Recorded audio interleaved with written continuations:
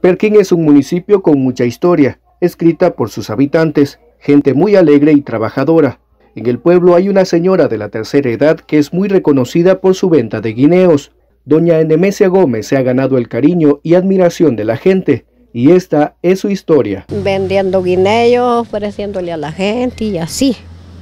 ¿Cuántos años lleva? 72 de estar vendiendo guineos. Como yo de joven vendía guineos, vendía antes de la guerra.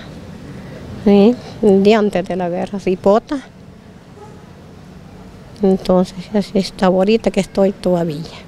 ¿Siempre aquí en las aceras de Perquín? Sí, siempre en la acera de Perquín. Sí. ¿Qué, ¿Qué, tipo de guineos le suele ofrecer a la gente? Yo les ofrezco caribes, yo les ofrezco mínimos y por ahí. Ay, me voy. voy a buscar y cuando no tengo lo voy a buscar y así. Una mujer luchadora que gracias a la venta de guineos puede costearse sus gastos en el hogar, ya que comentó vive sola por decisión propia. Siempre ha visto la forma de salir adelante y su pequeño negocio es también la forma en cómo le gusta pasar sus días, eso si el cuerpo lo permite. Tengo gente conocida por todas partes. La montaña, por ahí también. Sí. ¿Usted, este, cuántos hijos tuvo? Vi que yo solo una tuve. Es la que sabe venir a vender con yo aquí. ¿Cómo se llama ahí? Santo Gómez Amaya. ¿Usted solo vive con ella? No, ella vive aparte, yo vivo aparte. Yo vivo solita. Vivo solita yo. ¿Ya de los guineos usted saca para su...? Sí, para, para comprar las cositas de comer, todo. Así es, que uno piensa por el pistillo que hace los guineos comprar la comida. La variedad de guineos de Doña Enemesia son un tanto difíciles de conseguir y son muy cotizados. Basta con una mañana para vender el canasto del día.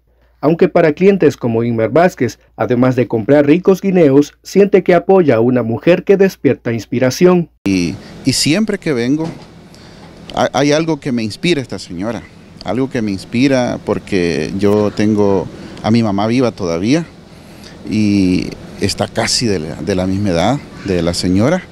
Y yo cuando la veo, no solo a ella, sino a todas esas señoras que son luchadoras, emprendedoras. Me acuerdo de mi mamá, que mi mamá así vendiendo frutas en el mercado, trabajó duro para que yo estudiara incluso en la universidad.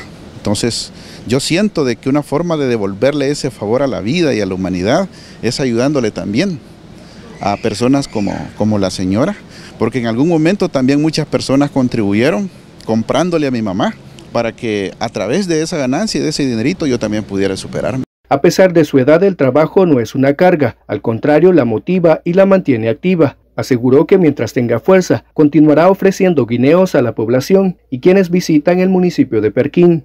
Sí, a vender guineos, como cuando tengo fuerza, yo cuando estoy alentada, yo me gusta andar rebuscándome con guineos usted, porque ya en la casa no le llega nada a uno.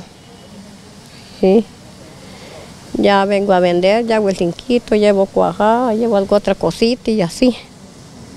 ¿Siempre le ha gustado trabajar? Siempre me ha gustado andar echando lucha cuando estoy alentada. Uh -huh. Siempre que el cuerpo lo permita. Sí, yo me siento, cuando estoy alentada, me siento con fuerza. Ya uno ya veo que le van acabando las fuerzas. Una historia que inspira a seguir adelante a pesar de las adversidades. Si usted visita el municipio de Perquín, no dude en apoyar a doña Enemesia, quien lo recibirá con mucha amabilidad y una gran sonrisa. Camarógrafo Luis González, Saúl Amaya, Noticiero Telemás.